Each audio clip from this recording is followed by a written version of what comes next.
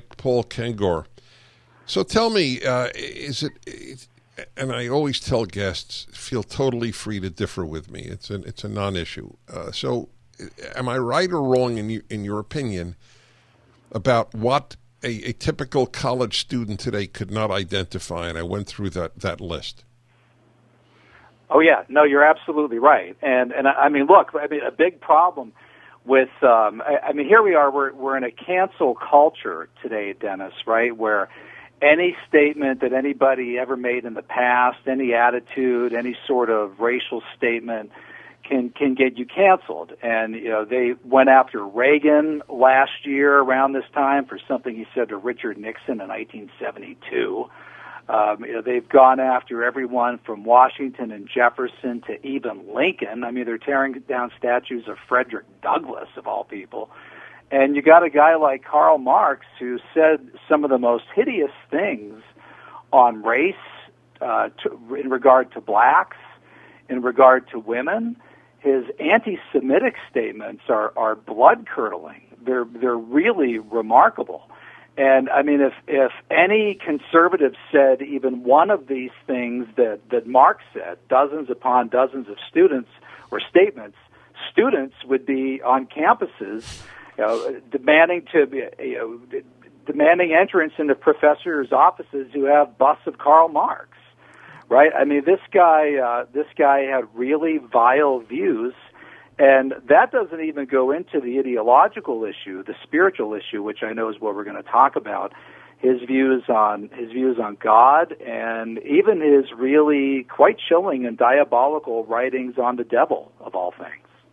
Yes, that even I'm not aware of, and Marxism and communism were my field of, of specialty. Ironically, I, you know, by the way, on a personal note, I think you'll find this of interest. So I, I studied what was called communist affairs uh, at the Columbia University School of International Affairs. I actually studied under Brzezinski. Wow. Yeah, who gave wow. the, the, advanced seminar on communism. And there were like six of us in all of Columbia. I had a very rare major, communist affairs. And I remember when I left Columbia after two years of graduate school, I remember thinking, you know, it was a fascinating major, but it, it, it's not going to be important because communism – not then, but within 15, 16 years, died in Europe. And I thought, phew, it's a good thing I didn't enter the field. Little did I know how hmm. important that major would actually be. Yeah, yeah. Well, I was I was an undergraduate major pre med at the University of Pittsburgh when I read Zbigniew Brzezinski's book, The Grand Failure. Right, I think mm-hmm. that came out around 1989 and at that point, he had been in the Carter administration, really the you know the the best staffer that Jimmy Carter had, probably one of the only good staffers that Jimmy Carter had. He was an anti-communist Pole, right, a mm-hmm. native Pole, mm-hmm. and that was uh, that was about the time. So it's when the Cold War colla- uh, you know, ended, 1989. Berlin Wall fell, 1989. Soviet Union disintegrated in 1991. But at the same time, guys like me, you, and others, you know, we we've been warning people in the 1990s, early 2000s that if you don't start to teach this past, the evils of communism, what happened in the Cold War, this could come back to bite us. And here we are today. I don't know when does she speak her 60 seconds of the Democrat convention, Alexandria Ocasio Cortez, probably this week, maybe even tonight. But she was AOC was born, if this is correct, it's off the top of my head. I think October 1989. So she was she was four weeks old, nursing at her mother's breast when the Berlin Wall fell, and then you know she spent grew up probably going to public schools, and then went off to college, and she learned none of this. And now here she is today. She fancies herself a quote unquote democratic socialist not understanding that socialism is one of the transitionary steps to communism, at least at least according to Marxist-Leninist theory, it is. But but people like her, we have a whole generation that never learned any of this. So I kind of like you, I I got my master's degree at American University, the School of International Service. What was it, 1994? And I, I had some of those same thoughts. I thought, well, you know, should I really even be studying this? I mean, maybe I should just go focus on, and I did. I focused more on the Middle East than than I, I I initially started with Latin America. But but here we are, 30 years after the fall of the Berlin Wall, and you now have a majority of young Americans saying that they prefer socialism over capitalism, and many of them even saying positive things about communism, and even favoring the the abolition of private property. Teen so Vogue just had insane. a yes. Teen Vogue just had a, a, a piece for kids to read that we yeah. should there should be no private property. That's exactly right. Yeah, I wrote a piece for the American Spectator about two weeks ago called "Teen Vogue to Teen Girls: Marx Good, Reagan Bad," and and it, it talked about a hit piece that they had just done on Reagan, and it reminded them of a positive piece they had done on Marx a few months before that. And then lo and behold, in between, you're right, I think it was just last week, somebody sent it to me. They said, hey, check this out. And they were literally calling for, quote, abolition of private property, unquote. And the Marx and Engels in the Communist Manifesto, they write, quote, the entire theory of the communists may be summed up in a single sentence, abolition of private property, unquote. And you know, a lot of the people that probably read Teen Vogue, a lot of them, probably most of them, teen girls presumably, they have no idea that comes out of the Communist Manifesto. But but it does, and magazines like this are able to get away with this because we've now educated or miseducated a couple generations of young people who have no clue no clue what, what, what communism or socialism even are. There was it was a French socialist who said all property is theft. I, f- I forgot who it was, but that that was one of the original ideas of communism. All yep, property right. is theft. We'll be back in a moment. Paul Kengor, the book is up at DennisPrager.com. The Devil and Karl Marx. He writes as interestingly as he speaks. The Dennis Prager Show. Dennis Prager here reminding you it's fundraising month for PragerU. Paul Kengor, the professor I have on the line, is one of those who gives a course there. We have a couple of courses on communism in case your kid is your college or high school son or daughter, nephew, niece, grandchild is flirting with the idea of communism. They should see these videos. Amazing the uh, enforced ignorance of history. The Devil and Karl Marx, Paul Kengor's book. So, what's this with? I, I studied Marx. I did not know about the devil part. So tell me. Yeah, it's really shocking. I mean, I mean the the guy wrote poetry about the devil, and people don't know this about Marx, but Marx actually fancied himself a poet. And and really, Dennis, if he hadn't become a philosopher, and he probably shouldn't have because he was a pretty bad philosopher. Um, actually, he was a pretty bad poet too, at least in terms of what he was writing about. But he he fancied himself a poet, and he wrote he wrote a bunch of poems about about Satan, and and it's hard to tell at times to what extent these are autobiographical, um, to what extent he's talking about um, the devil kind of playing the devil himself. If he's um, if he's supportive of, of the devil's vision, it's it's hard to say, and I say that in the book. I try to make these careful distinctions where and when I can. But for example, his 1837 poem, this is called The Pale Maiden. And I think this one, Dennis, is really profound because I, I think this is autobiographical for Marx. He wrote, Thus heaven I forfeited, I know it full well. My soul, once true to God, is chosen for hell. Unquote. And you know, Marx had been Marx was raised in a in a, a Jewish family that had many rabbis in the background. Well, uh, Orthodox rabbis, both his father's father and mother's father. That it's it's a, it's a good question. They they seem to be on both sides, and as you know, it, depending on whether or not they were reformed or whether or not. oh no, they were Orthodox. They were. I think I, this is an, an, area that I you know I'm, I'm, somewhat acquainted with, but of course his parents converted to Christianity. They did. They converted to Christianity. So Marx was born May 5th, 1818, in Trier, Germany, and which ironically is one of the most religious Catholic cities in all of Germany. In fact, the, the great cathedral of Trier is the one where Helena, Saint Helena, the mother of a, the the mother of um, Constantine of all things, she went to the Holy Land and she's alleged to have brought back a number of, of holy relics, um, in, including the crown of thorns of Jesus, which which is believed to be in Notre Dame. She brought back the holy robe, the holy coat of Christ. She believed to be and and that's the one that the Roman soldiers cast lots for at the crucifixion. That's in the that's in the Cathedral of Trier, and and that's the town that Marx was raised in. So that cathedral goes back to I think the year 324, 330. Um, Saint Ambrose, who taught Augustine, the Bishop of Milan, Ambrose, was there at one point. So he grew up in the literal shadow of that cathedral. His father converted to to Christianity. It's believed to be under the social pressures and persecution of the day against Jews in Germany. And Marx, I think he converted. Marx would have been around four or five years. Well, probably Marx would have been about two years old. We think probably because the father probably converted around 1820. And then Marx was baptized into the faith 1823 when he was five years old.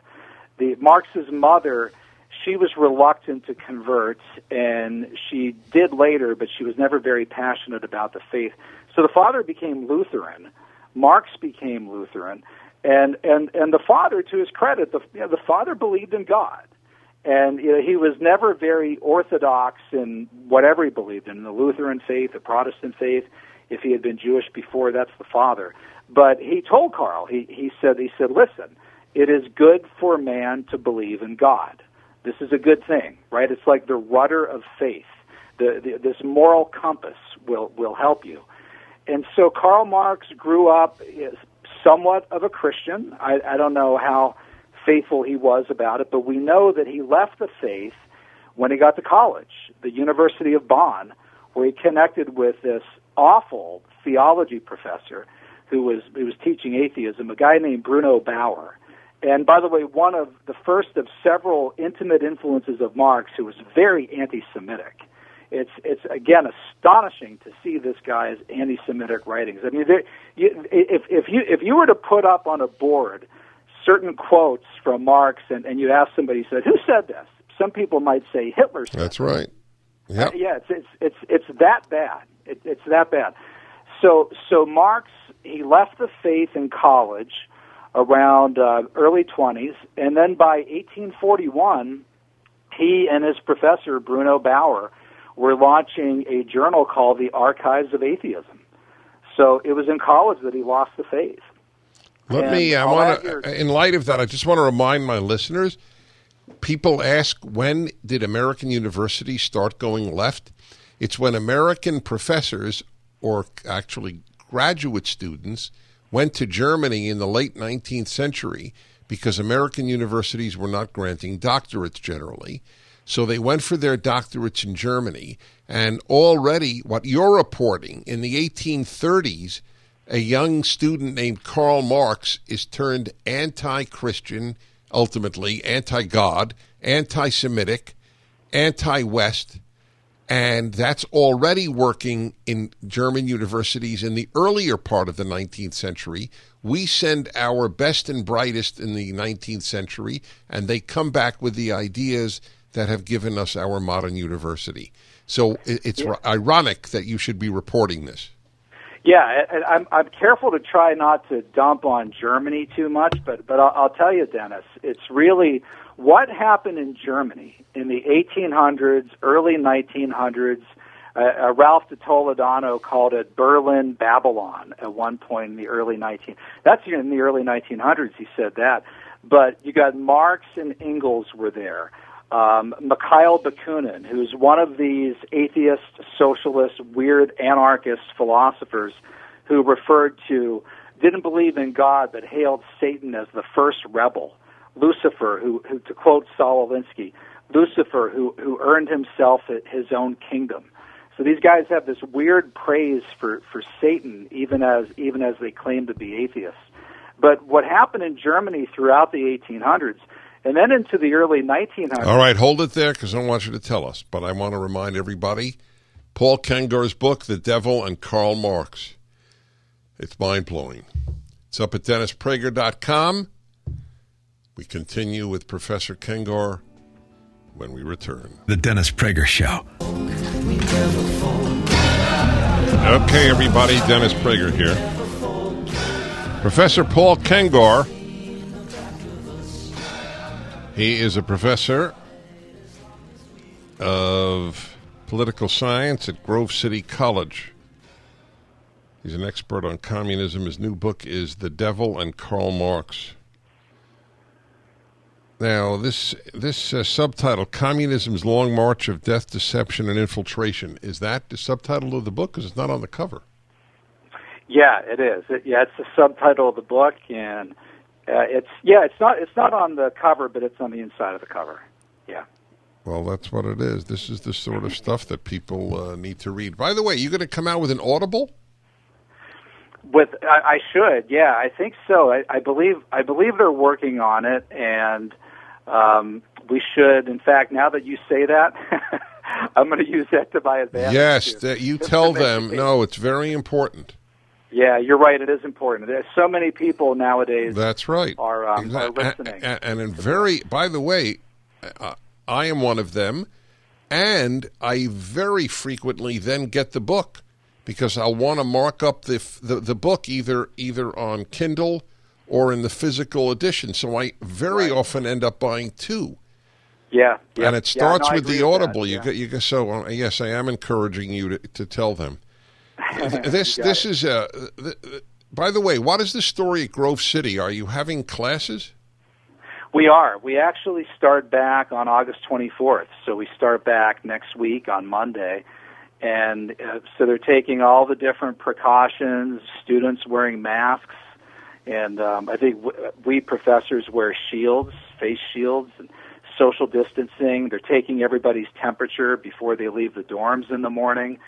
So yeah, hopefully, hopefully it'll be it'll go okay. I don't know. We'll see. Well, it, it, it, it's um. See, I, I don't want to get distracted, but I just want to say, uh, and I admit that I am allowing myself to get distracted, but it's so relevant. I mentioned earlier in the show that the University of North Carolina opened up. So about 250 students got COVID, so they're closing the university again. Right. uh, if the criterion for closing is students will have COVID, no university, no school will stay open. The, the society has not matured to the understanding that that is the nature of a virus. People get it. The question is not whether people get it; it's whether they get hurt by it. Right. Right. And and young people don't get hurt by it. It's very right. very rare. It's more common to be hurt by the flu if you're 15 than by COVID if you're 15. Yeah, and the, and of course the concern for colleges, I, I think too, is older folks, professors getting it too. Right. I, I would teach. I, I, I would go in and teach. Yeah. I, I, I, it's well. Anyway, look, the fear that has engulfed the the world is uh, is very very bad. But anyway, back to uh, back to the the Marx issue. So he. It is a very interesting aspect that I was not aware of. So there was a a certain fascination with Satan on, on the part of Marx. Is that what you're saying? Yeah, yeah, very much so. And in fact, in, in 1841, the same year that he was starting a an archives of atheism with his professor Bruno Bauer, Marx wrote a, another poem called "The Player," and in this one he wrote, "Look now, my blood dark sword shall stab." Unerringly within thy soul, the hellish vapors rise and fill the brain, till I go mad and my heart is utterly changed see the sword, the prince of darkness sold it to me. Uh, that that's just yet another poem like that. He also did a play called Oulanem, which which if you if you play with it, it's it's an anagram that means Emmanuel, which which was which was the the name of Jesus, and and that's that's according to several of his biographers, Robert Payne and and others all concede that that's indeed what Marx meant with that. He he had a fascination with with Faust, with Goethe's Faust, Mephistopheles, selling your soul to the devil. Yeah, yeah, he he loved that because he knew he apparently he knew he did that. Well, and and one and one of one of his favorite phrases for, from Mephistopheles is that everything that exists deserves to perish. Everything that exists deserves to perish. Wait, wait, wait where is that? I'm sorry, where is that from? That that's from Mephistopheles. Oh, it is. It's from Mephistopheles, and and, yeah. and and he and he loved that line. He loved that line. You know this. This is. I, I want to say this to my listeners. This is such an important dialogue or interview there is at the core of leftism is nihilism. I have been saying that, but I I now realize it's truer than I realized. Starting with Marx. Book is up at uh, DennisPrager.com, The Devil and Karl Marx. It's a scholarly book, but it's written totally accessibly.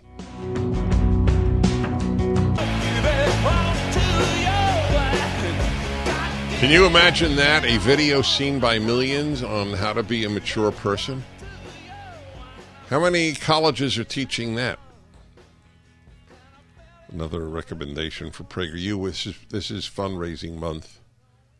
If you've never given to us, please do. The country is in jeopardy. I never overstate, I never exaggerate. Real, serious jeopardy. And we're doing a lot of good to try to stem that. PragerU.com or just call 833 PragerU, whatever you give. We appreciate. Paul Kengor is a professor of political science at Grove City College. Where is Grove City College? Outside of Pittsburgh? It is. It's about an hour north of Pittsburgh, uh, western Pennsylvania, Grove City, Pennsylvania. And I got to say here, uh, you, you didn't ask me to say this, but but the PragerU video that I did for you guys on Karl Marx, I, I got to tell you, Dennis, I got more response to that video than I think just about anything, almost any radio show I've ever done, any article that I've ever written, and you know I've done I've done a lot of big shows, right? The O'Reilly Factor when that was number one on TV and so forth, and but that was um, the response to that was enormous, and I have heard I've gotten more emails from young people about that particular thing, that video, than than anything else. So, believe me, and I know. I think it got within a week. It had three million hits or three million views at your website and at YouTube. So, so the impact that you're having, it's it's it's substantial. Thank you for saying that. And I just want to reemphasize something Professor Kengor said that it was young people writing him. 65% of our billion views a year are people under 35. Just want people to know that. You want to help the fighters? Help PragerU. So we go back to your book. Uh, it's relentlessly interesting what you're reporting, and it is so important because I this is all revelatory to me who majored in Marxism and communism, and, and I mm-hmm. didn't know the fascination with what was the line again from Mephistopheles? Yeah, and, and I, I grabbed this during the break. I have a bunch of these listed on page 383 of the book. And you, you had mentioned the nihilism behind this. And here's just a few examples. So Marx had a favorite quote from Goethe's Faust and and Mephistopheles says everything that exists deserves to perish. Everything that exists deserves to perish. And and I, I think that's very much the mentality of the modern mob who's standing out there tearing down statues, setting things ablaze. And I had somebody a few months ago, a family member, say, Hey, what's their goal? What do they want to do? What do they want to replace this with? And a lot of times they don't right. even know. That's it. That's what I I told this to Candace Owens, and I remember she was so excited at this because it was a, relatively recent revelation in my own life. Mm. Uh, after studying this my whole life, the end game of the left is chaos. Yes, yes. They they, they just and this was Marx. They want to tear down the house, and and you have this in Marx's poetry And, and in fact, in one really chilling scene where where it, you, he's standing there amid the embers, right? This burnt down house, and in a way, they've atri- they've achieved what they want to achieve, which is flat out destruction. And if you were to say to them, "What comes next?" they might very well say, "I don't know."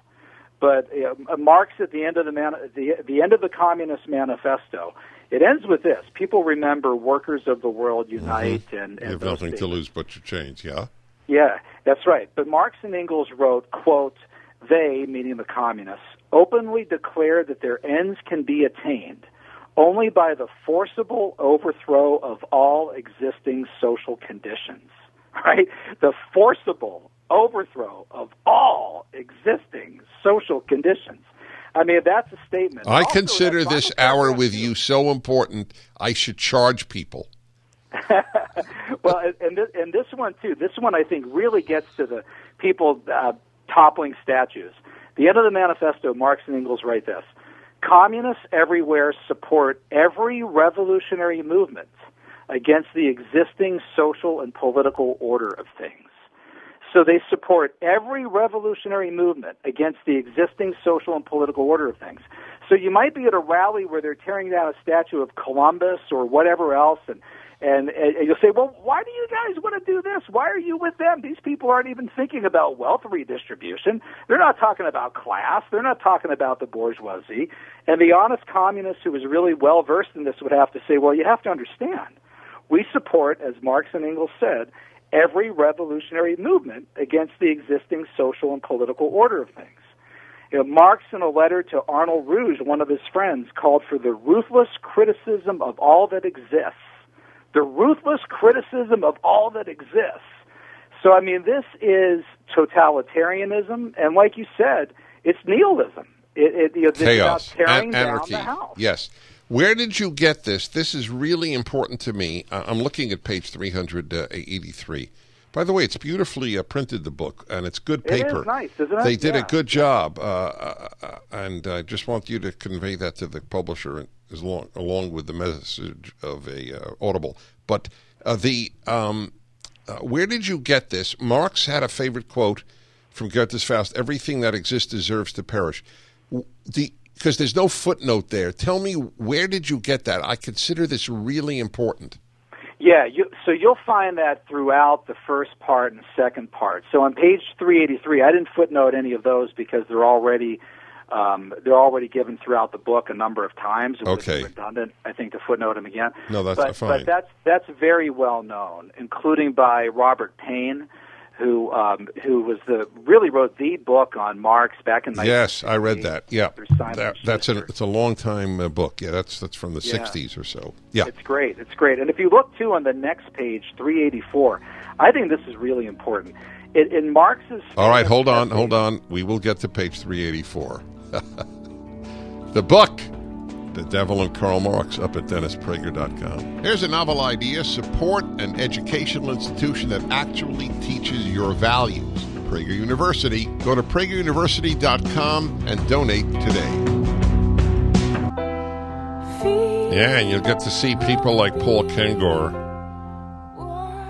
You know, I've had uh, thousands of guests. You're you're really one of the best. You are re- relentlessly interesting. I appreciate that. Yeah, well, you deserve it. By the way, I have a whole theory. I have theories on everything. That's that's my idiosyncrasy. I have a theory about the word interesting. Uh, it is the most uh, underappreciated, important thing that there is in life. you have to be interesting. It doesn't matter how important what you have to say, or or I learned it from music and I, mm. I now apply it to everything else. And and that's been my success. I fully acknowledge it. I'm interesting. It- it- Yes. other- otherwise, it would be it would be I would have another profession. That's all. Well, that's, that's the key for professors, too. And That's with- right. with Oh, bless you. Yeah. That's exactly right. When I was at college, I kept thinking, does this guy know how boring he is? right. And, and really, and really, the key is that you have to have interesting information, and then you have to be passionate about it. And so, you know, I appreciate you commending me for being interesting, but a lot of it is because of the content, the material that I'm sharing, right? And and when you see what Mark said, and you know, you can't help but be interested in this. Well, you know how important it is because we're reliving it. Mm-hmm. We are living yeah, Santayana right now. People who don't learn from history yes. are condemned to repeat it. That's right. That's exactly what's going on. And you know, I, I checked during break. It is Robert Payne that reported the the line, uh, "Everything that exists deserves to perish," and that's also been reported by a number of other biographers. And, one of them, Francis Wheen, who's very pro Marx. I mean, apologizes an apologist for Marx and almost everything. And I, I have a long section of the book where I talk about this journalist friend of Marx, Karl Heinzen, and and Marx kind of kind of holds him captive and and Heinzen said that that Marx was his unsuccessful imitation of Mephistopheles. Um, he was sneering at me. Wait a minute. With, I'm not sure it was unsuccessful. Right, right. And chanting the lines of Mephistopheles. A number of people say that. Marx's daughters talk about walking with him in London and he's telling them these chilling uh, stories and and reciting lines from Faust. He was fascinated with this stuff. And and before the break, I, I wanted to mention the the essay where Marx refers to religion as the opium of the masses. And this once again gets back to the whole nihilism point. In in that essay, he writes there. People forget this quote: "The criticism of religion is the beginning of all criticism." I love it. I love it. This has been yeah, revelatory. Yeah. Paul Kengor, the only thing missing is I have to meet you in person. that sounds good. We'll do it sometime. The Dennis Prager Show, live from the Relief Factor Pain Free Studio.